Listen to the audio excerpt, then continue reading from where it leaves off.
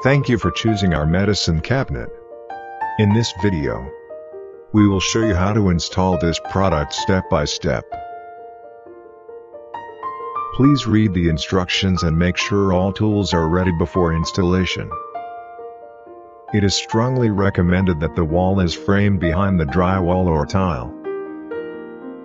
Recessed or semi-recessed installation. Recessed installation.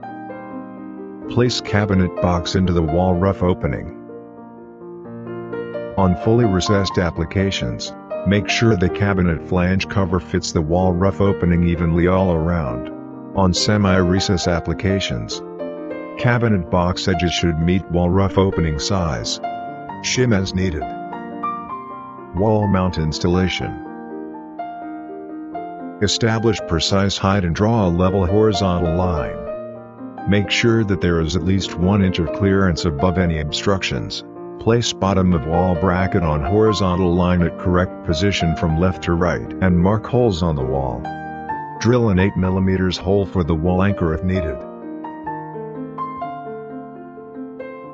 Mount the bottom of wall bracket with Nuber 10 x 11 divided by 2 inch screws.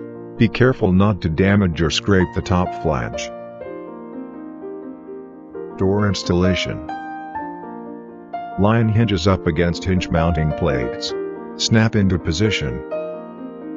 Door should snap locked when about 1 inch from being fully closed. Door should be placed even with the cabinet. Insert bumper.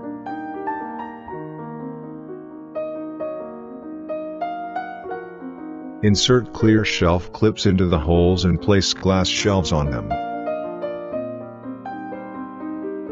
Fill the rest of shelf clip holes with covers. Lastly install cover plates on both of cabinet sides. Thanks for watching.